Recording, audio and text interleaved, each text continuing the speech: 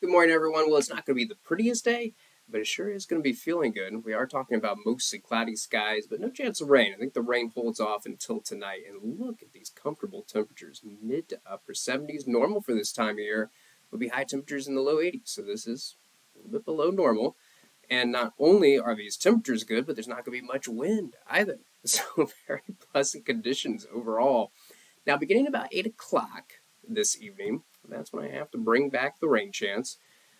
And I will say that for this evening chance of rain, the better chance is going to be to the south and west versus the north and east. The farther north and east you live, the less likely it is that you're going to see rain tonight. The farther south and west you live, the Quad Cities, the more likely it is that you're going to see rain.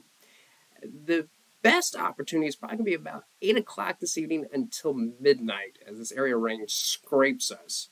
And so a peak in the activity about 10 o'clock. So who's most likely going to be seeing rain at 10 o'clock? Probably Washington, Wapello, maybe Viola, Muscatine, Iowa City. It's going to be a real outside chance, it looks like, for Davenport, Moline, and then areas farther north and east. I'm just going to mention the smallest of chances. It definitely looks like the better opportunity is to the south and west.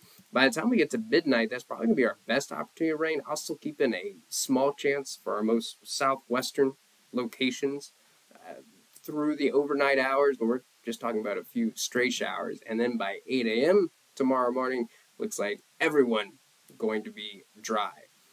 But we are going to see some new showers pop up in the afternoon.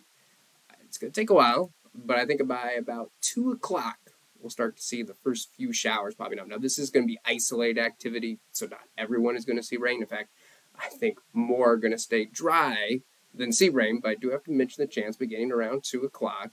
The peak of the activity tomorrow, probably about 5 o'clock in the afternoon. Yes, the homebound commute, but notice the gaps that are showing up. Not a guarantee that you're going to encounter rain driving home from work, but do need to mention the chance.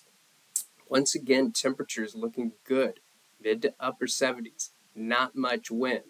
And after this relative peak in the activity by around 5 o'clock in the afternoon, it looks like by 8 o'clock the rain chance going away.